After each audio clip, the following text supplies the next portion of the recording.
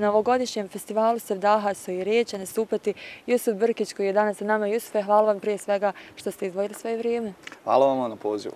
Šta će to publika imati priliku da vidi, čuje i da dušu nahranite tog 22. augusta? Publika će svakako imati ovaj, priliku da čuje dosta Sevdaha za vrijeme Sarajevo Film Festivala na ovoj prelijepoj lokaciji Žutoj Tabi. Ja moram kazati da je to nekako nastavak naše saradnje već nekih 5-6 godina unazad mi za Sarajevo Film Festival radimo zalazak sunca na žutoj tabi u Sazi. To je nekako bilo više performans, da tako kažemo, gdje sam ja 3-4 godine svirao na žutoj tabi pred zalazak sunca nekih sat vremena.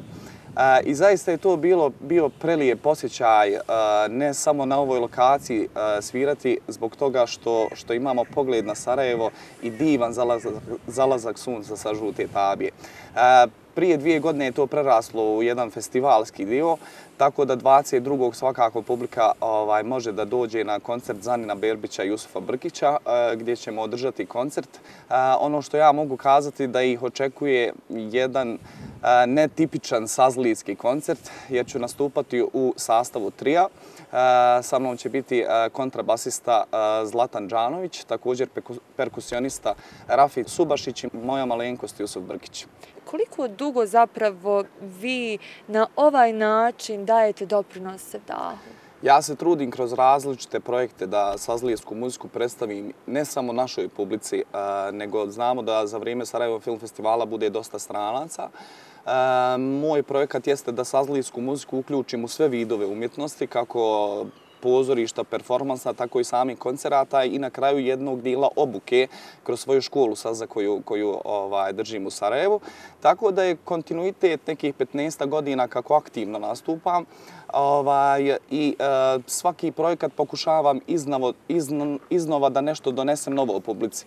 Tako sam došao na ideju s obzirom da je sazlijska muzika muzika koja se u većini slučajeva svirala i, i, i e, prenosila publici samostalno gdje je sazlija svirao i pjevao.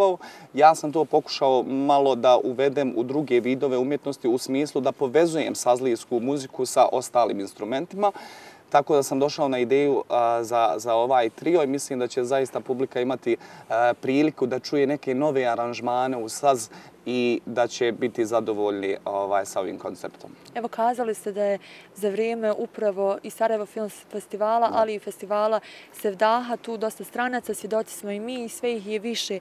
I više nekako Sarajevo je definitivna destinacija koja se nalazi na mapi mnogih turističkih putnika. Kako reaguju stranci na naš Sevdah, na našu tradiciju? Zaista divno, mi smo nekako ovaj, spoj istoka i zapada i s obzirom, ponovo se vraćamo i na lokaciju i sav taj ambijent, mi dosta toga imamo i pokušavamo evo, na najbolji mogući način da to prenesemo publici. E, zaista su bile divne reakcije e, ljudi koji su dolazili i prije na, na, na žutu tabiju gdje su uživali u tom pogledu i sevdahu. E, većinom su bile iznenađujuće reakcije e, u smislu jer e, ljudi nemaju tu vrstu zvuka u svom uhu. Nisu prije e, dosta čuli taj instrument. Naravno, stranci su dosta čuli baglame turske ili pe, jer je saz dolazi iz Perzije, tako da imamo različite vrste, da tako kažemo, sazova. I u tom smislu ovaj, mi pokušavamo našu tradiciju, našu kulturu da, da pokažemo ono sa čime mi u stvari raspolažemo. E, zaista su bile fine reakcije i nadam se da će i ove godine publika uživati na ovom festivalu. I što je najvažnije, mi našu tradiciju treba da čuvamo, jer to je ono naše čime se mi ponosimo, idemo u svijet. Dakle, 22. august. 22. august, žuta tabija, Sarajevo, vidimo se.